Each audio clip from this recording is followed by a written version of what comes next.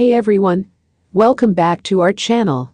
Today, we're diving into a story that's taken the sports world by storm. It's not about touchdowns or Super Bowl rings, it's about something much more personal. We're talking about Patrick Mahomes, the star quarterback of the Kansas City Chiefs, and the shocking custody battle that's left many questioning the dynamics of his relationship with Brittany Matthews. So, grab some popcorn and let's get into it first, let's set the stage. Patrick Mahomes and Brittany Matthews have been together since high school. They've built a life together, complete with their adorable daughter, Sterling. They seemed like the perfect couple, right? But, as we know, appearances can be deceiving.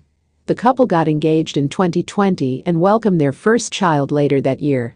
Fans adored them, often sharing their journey on social media, but behind the scenes, cracks were starting to show.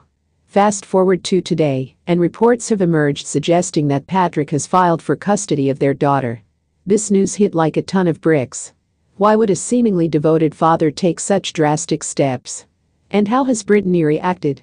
Initial reports indicate that Patrick's decision stems from concerns over Brittany's lifestyle choices and their impact on Sterling. Sources close to the family suggest that Patrick believes it's in their daughter's best interest to ensure she has a stable environment.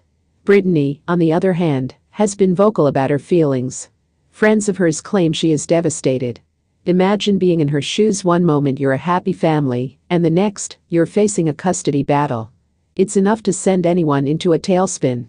She took to Instagram, posting cryptic messages about heartbreak and betrayal, which her followers interpreted as a direct response to Patrick's actions. The emotional toll this is taking on her is palpable, and it raises questions about the pressures of being in the public. I. The public reaction has been mixed. Some fans are rallying behind Patrick, claiming he's doing what any responsible parent should do. Others are fiercely defending Brittany, arguing that this is a calculated move to undermine her role as a mother. Comments like Team Brittany and Patrick is being unreasonable are flooding social